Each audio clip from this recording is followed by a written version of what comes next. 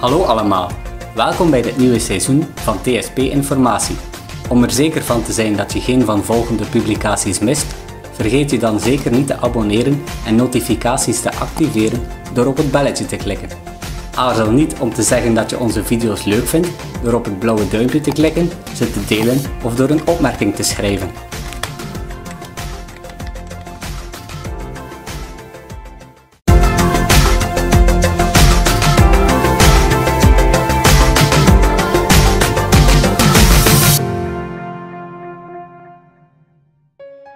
Helemaal begin 2022 reizen dieselmotorexperts naar Saint-Guilain met als doel treinstel 4506 opnieuw in gebruik te nemen. Na een technische inspectie, het vervangen van bepaalde vloeistoffen en het plaatsen van nieuwe batterijen kon het treinstel uiteindelijk gestart worden.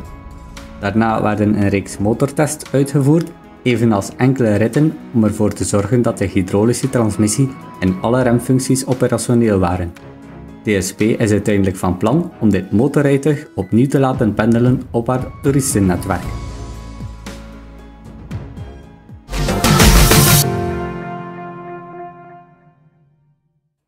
Januari van dit jaar werden we geconfronteerd met forse stijgingen van de elektriciteitsprijzen.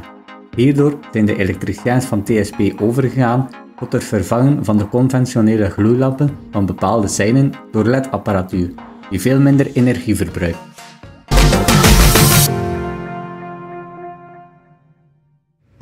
Begin januari 2022 begonnen de werkzaamheden om de bocht van Alwa te vernieuwen.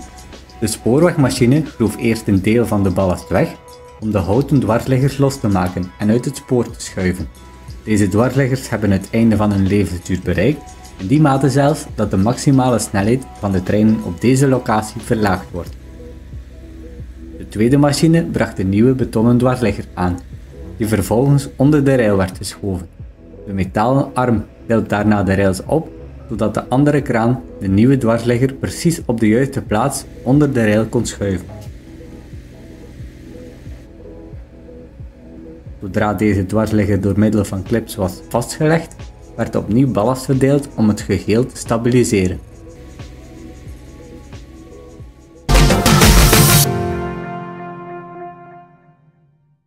Elke eerste zaterdag van de maand op de site Espace in Saint-Guilain worden overdag bezoeken georganiseerd voor het grote publiek. Zij die graag een fantastische tentoonstelling van voorwerpen uit de spoorwegwereld willen ontdekken, evenals de buitengewone verzameling aan locomotieven, motorwagens, rijtuigen en treinwagons van TSB, zijn er van harte welkom. We volgen de gids tijdens dit bezoek, in het gezelschap van enkele kijklustigen, om een voorproefje te geven van wat er zoal te ontdekken valt. Deze duik in de spoorwegwereld, die meer dan een uur duurde, stelde bezoekers in staat om vertrouwd te raken met het jargon van de wereld van de trein. Deze spoorwegmachines te ontdekken, evenals een geschiedenis, soms internationaal voor sommigen van hen. De gids aarzelt dan ook niet om de uitleg te variëren, soms algemeen of meer specifiek over de techniek, al naar gelang het een familiepubliek of een kenner is, gepassioneerd door de spoorwegen. Het materieel dat sinds de volledige herstelling van het dak in een zeer droge ruimte kan worden tentoongesteld, won letterlijk de harten van het publiek. En dat allemaal dankzij de schenkingen die via de Boudewijnstichting werden ingezameld. Tijdens hun ontdekkingstocht lieten de bezoekers niet na om het historisch materieel vanuit alle hoeken te fotograferen. De meeste nieuwsgierigen kregen zelf de kans om de stuurposten van de locomotieven en het interieur van de rijtuigen te bezoeken. Het bezoek eindigde met de ontdekking van het netwerk van miniatuurtreinen en een bezoek aan de kleine winkel waar een reeks boeken te koop werden aangeboden.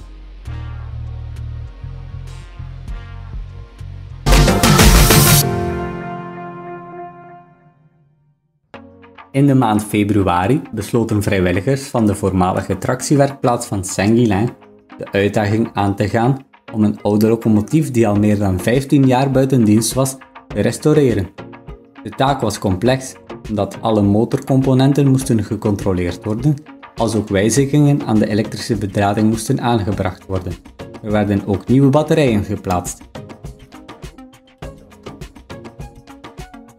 Een grondige reiniging van deze locomotief, zowel aan de zijkant van het motorblok als aan de bestuurdersplaats werden uitgevoerd door deze moedige vrijwilligers, die vele uren langs deze machine hebben doorgebracht.